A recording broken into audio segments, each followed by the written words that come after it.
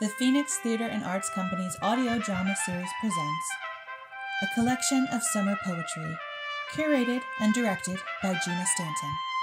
For past episodes, upcoming events, and other information, make sure to visit our website at phoenixtheatreartsco.com. That's theater with an R-E. Before we get to this week's episode, PTAC would like to wish the warmest of congratulations to Sam Steer and Brian Sanishin on their wedding. We are so happy for you both and are thrilled that you're a part of PTAC. Without further ado, we give you Summer Poetry.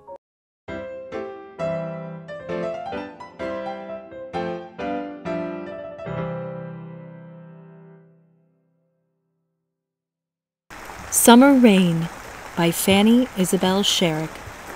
Oh, what is so pure as the glad summer rain that falls on the grass where the sunlight has lain? And what is so fair as the flowers that lie all bathed in the tears of the soft summer sky? The blue of the heavens is dimmed by the rain that wears away sorrow and washes out pain. But we know that the flowers we cherish would die were it not for the tears of the cloud laden sky. The rose is the sweeter when kissed by the rain, and hearts are the dearer where sorrow has lain. The sky is the fairer that rain clouds have swept, and no eyes are so bright as the eyes that have wept. Oh, they are so happy, these flowers that die. They laugh in the sunshine, oh, why cannot I? They droop in the shadow, they smile in the sun, yet they die in the winter when summer is done. The lily is lovely and fragrant her breath, but the beauty she wears is the emblem of death. The rain is so fair as it falls on the flowers, but the clouds are the shadows of sunnier hours. Why laugh in the sunshine? Why smile in the rain? The world is a shadow, and life is a pain. Why live in the summer? Why dream in the sun to die in the winter when the summer is done? Oh, there is the truth that each life underlies, that baffles the poets and sages so wise. Ah, there is the bitter that lies in the sweet as we gather the roses that bloom at our feet. Oh, flowers, forgive me. I'm wilful today. Oh, take back the lesson you gave me, I pray. For I slept in the sunshine I woke in the rain, and it banished forever my sorrow and pain.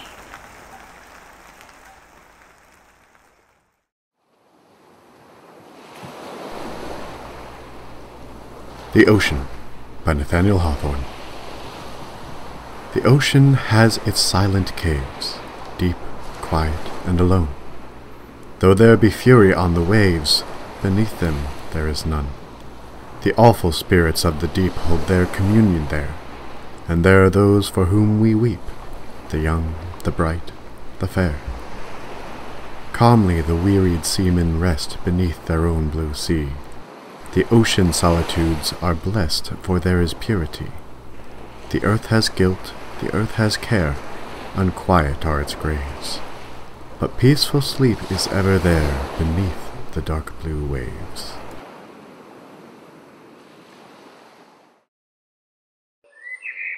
Sonnet 18 Shall I compare thee to a summer's day? by William Shakespeare.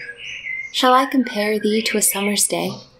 Thou art more lovely and more temperate. Rough winds do shake the darling buds of May, and summer's lease hath all too short a date.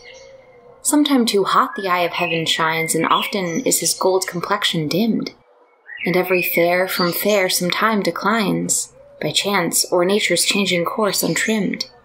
But thy eternal summer shall not fade, nor lose possession of that fair thou owest. Nor shall death brag thou wanderest in his shade, when in eternal lines to time thou growest.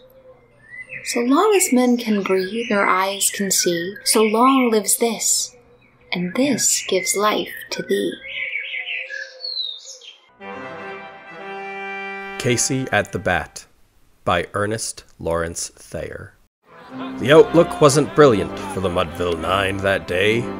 The score stood 4 to 2 with but one inning more to play.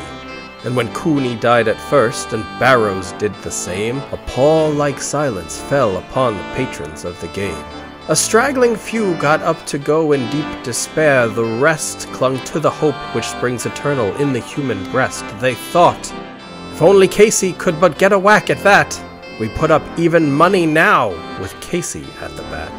But Flynn preceded Casey, as did also Jimmy Blake, and the former was a hoodoo, while the latter was a cake. So upon that stricken multitude grim melancholy sat, for there seemed but little chance of Casey getting to the bat. But Flynn let drive a single to the wonderment of all, and Blake, the much despised, tore the cover off the ball. And when the dust had lifted and men saw what had occurred, there was Jimmy safe at second, and Flynn a hugging third. Then from five thousand throats and more there rose a lusty yell. It rumbled through the valley, it rattled in the dell.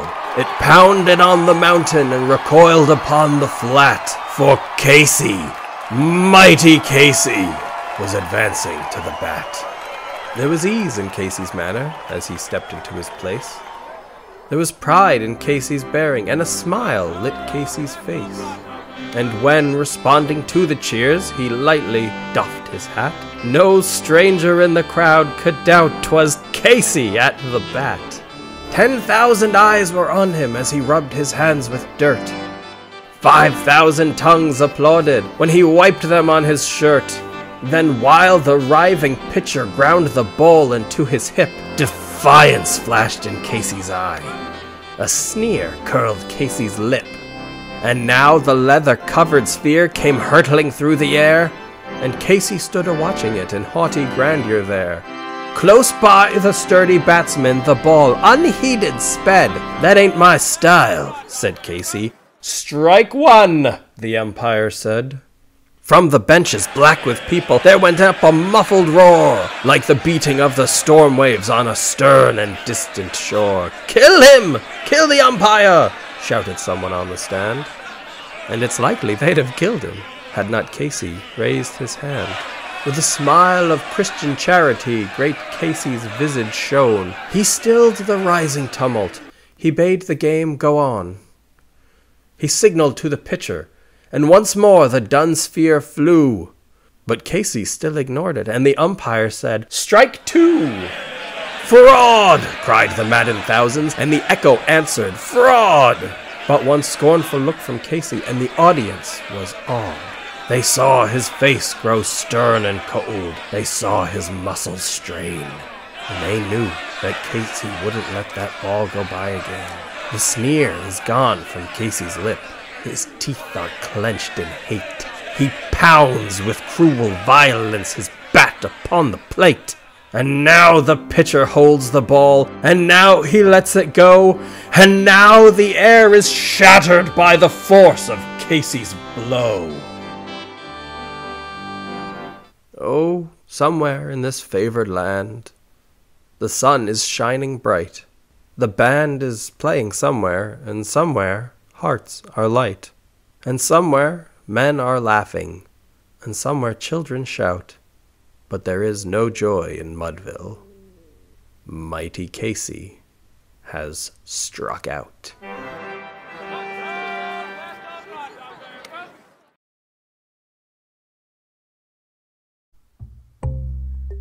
A Jellyfish by Marianne Moore.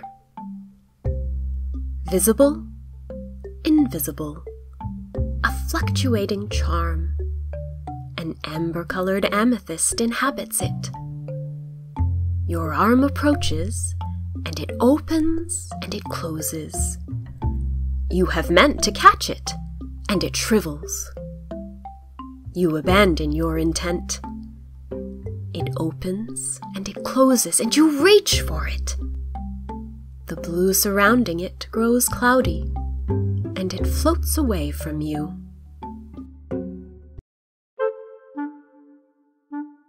A Sea Dirge by Lewis Carroll. There are certain things a spider, a ghost, the income tax, gout, an umbrella for three that I hate. But the thing that I hate the most is a thing they call the sea. Pour some salt water over the floor. Ugly, I'm sure you'll allow it to be. Suppose it extended a mile or more. That's very like the sea. Beat a dog till it howls outright, cruel but all very well for a spree. Suppose that one did so day and night. That would be like the sea. I had a vision of nursery maids, tens of thousands passed by me, all leading children with wooden spades, and this was by the sea. Invented those spades of wood? Who was it cut them out of the tree? None, I think, but an idiot could, or one that loved the sea. It is pleasant and dreamy, no doubt, to float with thoughts as boundless and souls as free but suppose that you are very unwell in a boat. How then do you like the sea? Oh, there is an insect that people avoid, whence is derived the verb to flee. Where have you been by it most annoyed? In lodgings by the sea. If you like coffee with sand for dregs, a decided hint of salt in your tea, and a fishy taste in the very eggs, by all means choose the sea. And if, with these dainties to drink and eat, you prefer naught a vestige of grass or tree, and a chronic state of wet in your feet, then I recommend the sea. For I have friends who dwell by the coast, pleasant friends they are to me. It is when I'm with them that I wonder most that anyone likes the sea. They take me a walk, Though tired and stiff, to climb the heights I madly agree, and after a tumble or so from the cliff, they kindly suggest the sea.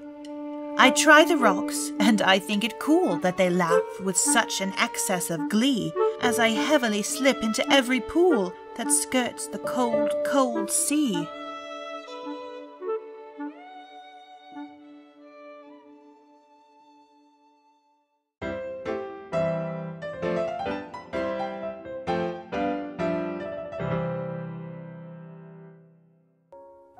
P-TAC's audio drama series is a production by the Phoenix Theatre and Arts Company. This week's episode, Summer Poetry, was curated, directed, and edited by Gina Stanton. This episode features the vocal talents of Kim Smith, Devin Traeger, Jenna Isabella, Mike Stanton, Jennifer Wallace, and Gina Stanton. Original P-TAC music by Brian Sanishin. For a full listing of credits, visit us at phoenixtheatreartsco.com. That's theater with an R-E.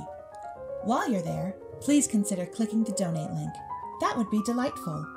Have comments or questions?